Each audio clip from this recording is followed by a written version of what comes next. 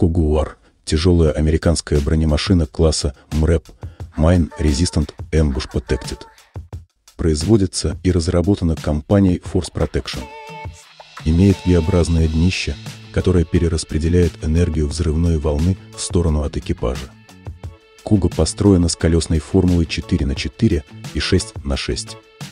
Внутри может разместиться до 9 человек, трое спереди и еще шестеро сзади на индивидуальных сиденьях. На бортах с каждой стороны расположены по три наблюдательных окошка, а также бойницы для ведения огня из стрелкового оружия без выхода наружу. Куга разработаны по программе Министерства обороны США МРЭП Mine Resistant Ambush Protected. В британских войсках получили обозначение местов и очень хорошо себя зарекомендовали в горячих точках.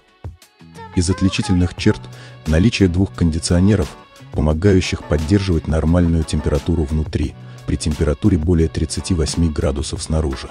По сравнению с оригинальным автомобилем Кугуар, британский вариант оснащен большими вертикальными броневыми листами, охватывающие порты для стрельбы.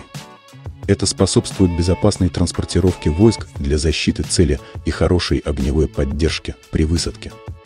Местов оснащен башней под пулеметы 7,62 мм, 5,56 мм, 12,7 мм, 40 миллиметровый гранатомет или 50 миллиметровую автоматическую пушку.